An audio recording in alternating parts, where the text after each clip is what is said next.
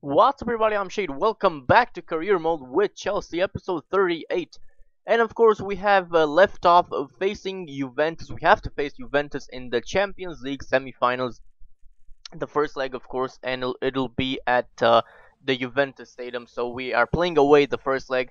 But uh, before the match actually starts and I talk about the highlights, I want to say that last episode I of course asked you guys if, uh, if um, basically how many of you are still interested in this series because if not I can just like uh, uh, let it go and just focus on my other series. But uh, I, I like the response that I got that a lot of people were saying that please um, keep it going because we enjoy it. Some somebody was even saying that all of the changes that I've been making in my Chelsea team in this career mode he has been making it uh, he has been making them in his career mode which is um, flattering and uh, all kinds of bunch of words I, I don't know and uh, just uh, thank you for that response. And uh, here's the thing like uh, obviously some people still enjoy it but some people are just uh, like new subscribers especially.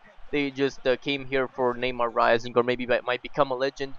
And when I upload this um, they're always like do Neymar Rising. And, and they were amongst the people that were saying that I should stop the series.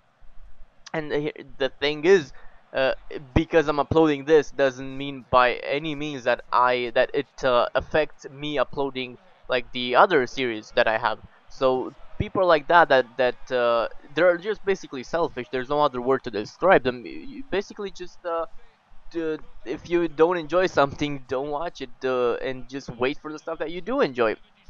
But that's that's how subscribers are these days. They're just kind of uh, self-centered. But uh, anyway, let's get into the gameplay. So we won the first leg 1-0 against Juventus. We were uh, pretty dominant. We had uh, twice as many shots as they had, but they had a very good possession game going. And on top of the possession game, they had my only weakness, which is the team pressure. Like, if done right, it's very, very, very effective. Uh, some people try it online, and some people fail online because they just hold the teammate contain button aimlessly and that just leaves them open to every 1-2 and every counter attack possible. But that's not how the computer does it on world class. They just do it so suffocating like that um, many times they're just left with no passing options and no space to move in that's how good they are. But uh, we do of course have the second leg as well after we simulated the match against West Ham and um, my problem is when I simulate matches, I always forget that I need to watch my players' fitness as well. And that's why we got like two um, players that are injured and we are going to get a third uh, I think uh, Sakho actually is injured right now. So we have Sakho injured we have um, we have David Luiz and another player that is injured simply because I forgot to rest them in a simulated match. So that is just um, a noob move from me. But uh, of course uh, second uh, leg is uh, on um, the Stamford Bridge. We are playing at home against Juventus. Uh, they are actually uh, quite dominant this one because of course we come here with uh, with an away goal and they just uh, have to work hard to get their their team in the game. Uh, Giovinco gets the ball inside the box near post beats De Gea not nothing he could have done even though it was near post Giovinco very good player is he's one of my actual favorites when he was uh, five star skills a few months ago when FIFA had just come came out basically I used Juventus in seasons mode to get from uh, Division 7 to Division 1 pretty much. And uh, it was all Giovinco because he was just uh, he was just awesome skiller. But uh, of course we have another shot there. We had to come back in the game. It was it was tight at this point. Aubameyang hitting the post there. Of course he's he's carded. He's booked. I didn't show you that why he got booked but it was the stupidest thing ever. Anyway we do actually get uh, at full time uh, with the score at 1-0. Of course, they had twice as many shots as we had this this um, time around. Uh, Ibarbo there running down the wing. Aubameyang gets saved by Cech, and then Honda, Keisuke Honda at the near post gets the rebound. And of course, we are going to just run, not even celebrate, because that might as well be the goal that gets us into the finals. Um, before the game, I forgot to mention they showed Cech. Uh, of course, uh, Juventus bought Cech from us, but they showed him, and the commentator was like, "It's the first time that he's like uh, he's like basically facing his old buddies and now they're enemies. But it's not the first time. If you check the highlights, in the first leg, Cech was the goalkeeper. So I don't know what the commentators are on about. Anyway, Victor Ibarbo gets the the second goal for us in the 106th minute and then we have a corner but 2-1 uh, in this one we are 3-1 on aggregate it's pretty safe to say that we are through to the final and that what we are because it's end it's the end of the match Um, but uh, of course we have the defenders are pretty much uh, like we have uh, two defenders with which be, being um being uh, David Luiz and Sakho, and then another player that I can't remember, but they're injured. We had to play. We have to play Sakho. No, no, no, no, Sakho, but Ake. We have to play Ake as a um. There it is. Sakho gets the injury right there. But we have to play Ake as the first team defender, and he's just he got the pace, but uh, he's not strong enough. Uh, sometimes against uh, really good attackers.